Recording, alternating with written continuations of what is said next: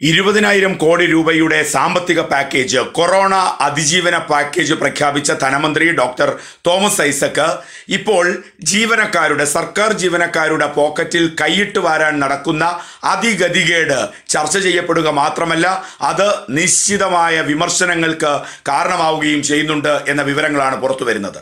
സർക്കാർ ജീവനക്കാരുടെ salary challenge. ആ സാലറി ചലഞ്ചിനെതിരെ സർക്കാർ ജീവനക്കാർ ഒന്നടങ്കം അമർഷം പ്രകടിപ്പിച്ചു തുടങ്ങിയിരിക്കുന്നു. സർക്കാർ ജീവനക്കാരന്റെ പോക്കറ്റിൽ കൈയിട്ട് വാരിയാണോ സമ്പത്ത് ഉണ്ടാക്കേണ്ടത് എന്നുള്ള ചോദ്യമാണ് ശക്തമാകുന്നത്. അവിടെ പ്രളയകാലത്ത് ഇതേ തരത്തിൽ സാലറി ചലഞ്ച് ഈ സർക്കാർ ജീവനക്കാരന്റെ പോക്കറ്റിൽ കൈയിട്ട് വാരാൻ ശ്രമിച്ചു. ഇപ്പോൾ കൊറോണ കാലത്തും സർക്കാർ ജീവനക്കാരന്റെ പോക്കറ്റിൽ കൈയിട്ട് വാരാൻ ശ്രമിക്കുന്നു.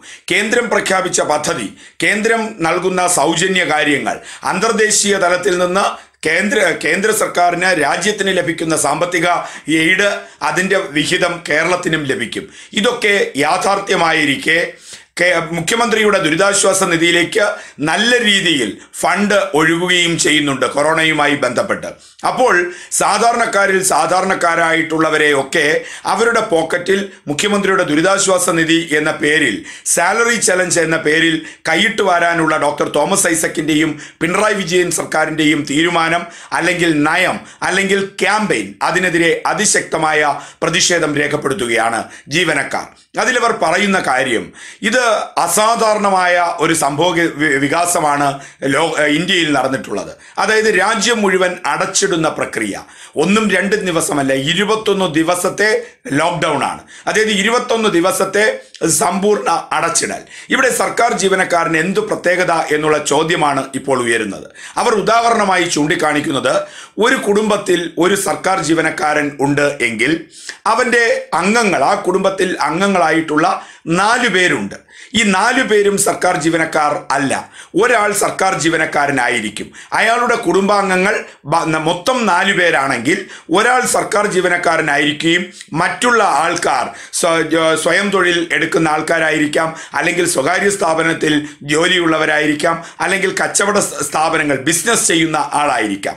അപ്പോൾ നാലു പേരുള്ള ഒരു കുടുംബത്തിൽ ഒരാൾ സർക്കാർ ജീവനക്കാരൻ ആയിരിക്കുകയും മറ്റു മൂന്ന് പേരും സർക്കാർ ജീവനക്കാരനല്ലാതിരിക്കുകയും അവർ മറ്റ് മേഖലകളിൽ പ്രവർത്തിക്കുകയും ചെയ്യുന്നവരാകുമ്പോൾ ഈ ഇരുപത്തൊന്ന് ദിവസത്തെ ഷട്ട്ഡൗണിലൂടെ മറ്റു മൂന്ന് പേരുടെയും വരുമാനം സീറോ ആയിരിക്കുകയാണ് സീറോ ബാലൻസ് ആണ് അവരുടെ വരുമാനം ഈ ഇരുപത്തൊന്ന് ദിവസത്തെ ലോക്ക്ഡൗണോട് കൂടി അപ്പോൾ സർക്കാർ ജീവനക്കാരന്റെ ആ സാലറിയിൽ നിന്നുകൊണ്ടാണ് അയാളുടെ മുഴുവൻ കുടുംബാംഗങ്ങളുടെയും ജീവിത രീതി അത് പരിപൂർണതയിൽ എത്തിക്കുന്നത് ഈ ഒരു കാല കാലഘട്ടത്തിൽ. അതായത് നാലു പേരുള്ള കുടുംബത്തിൽ ഒരാൾ സർക്കാർ ജീവനക്കാരനാണെങ്കിൽ മറ്റു മൂന്ന് പേർക്കും ഇരുപത്തൊന്ന് ദിവസവും തൊഴിൽ നഷ്ടപ്പെട്ടിരിക്കുകയാണ്. അവർ വീട്ടിലിരിക്കുകയാണ്. അവർ ഏത് മേഖലയിലായി കഴിഞ്ഞാലും സ്വകാര്യ സ്ഥാപനങ്ങളാകട്ടെ മറ്റിടങ്ങളിലൊക്കെ അത് അടച്ചിടലിന്റെ വക്കിലാണ്. ഇനി ജോലി ചെയ്യുന്നവരാകട്ടെ അത് ലാഭവിഹിതത്തിന്റെയൊക്കെ കണക്ക് പറഞ്ഞ് സാലറി വെട്ടിക്കുറയ്ക്കുന്ന സാഹചര്യം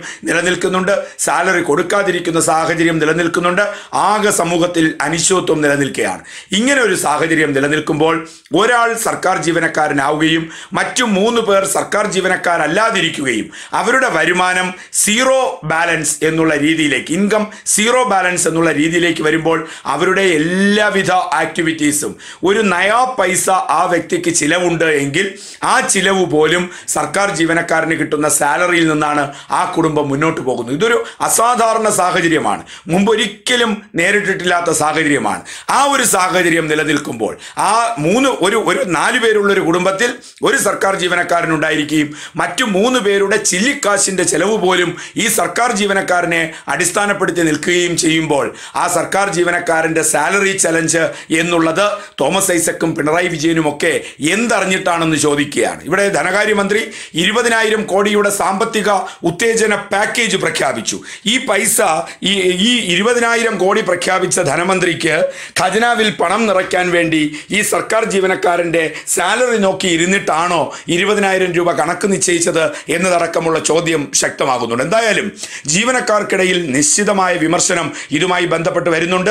അഞ്ഞൂറ് രൂപയ്ക്ക് താഴെയുള്ള തോർത്തുമുണ്ട്. ചികിത്സയുമായി ആയുർവേദ ചികിത്സയിൽ ഡോക്ടർ തോമസ് ഐസക്ക് പോകുമ്പോൾ അഞ്ഞൂറ് രൂപ വിലയ്ക്ക് താഴെയുള്ള തോർത്തുമുണ്ടിന് പോലും സംസ്ഥാന ഖജനാവിൽ നിന്ന് പണം എഴുതിയെടുത്ത ഈ നികൃഷ്ട പേക്കോലം എന്നുള്ള രീതിയിൽ വിമർശനം ഏറ്റുവാങ്ങുന്ന ഡോക്ടർ തോമസ് ഐസക്ക് ധനകാര്യം കൈകാര്യം ചെയ്യുന്ന കേരളത്തിൽ സർക്കാർ ജീവനക്കാരനെ വീണ്ടും വീണ്ടും പിഴിയാനുള്ള ശ്രമത്തിനെതിരെ അതിശക്തമായ വിമർശനം സർക്കാർ ജീവനക്കാർക്കിടയിൽ നിന്ന് ഉയരുന്നു. അതിശക്തമായ പ്രതിഷേധം ഉയരുന്നു. ഉള്ളവന്റെ കയ്യിൽ നിന്ന് കൈയിട്ട് വാരുക.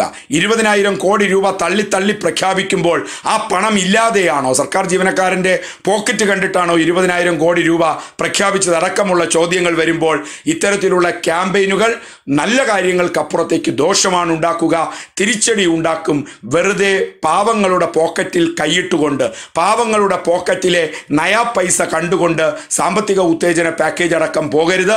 പ്രളയ ദുരിതാശ്വാസ ഫണ്ട് മുഖ്യമന്ത്രിയുടെ ദുരിതാശ്വാസ ഫണ്ട് പോലും കൈയിട്ട് വാരുകയും തട്ടിപ്പറിക്കുകയും ചെയ്ത അന്വേഷണം കേസ് അറസ്റ്റ് അടക്കമുള്ള കാര്യങ്ങൾ കേരള സമൂഹത്തിനുള്ളപ്പോൾ ഇത്തരം തട്ടിപ്പുകളിൽ നിന്ന് സംസ്ഥാന സർക്കാർ ഒഴിഞ്ഞു നിൽക്കണമെന്ന ആവശ്യം ശക്തി പ്രാപിക്കുകയാണ്.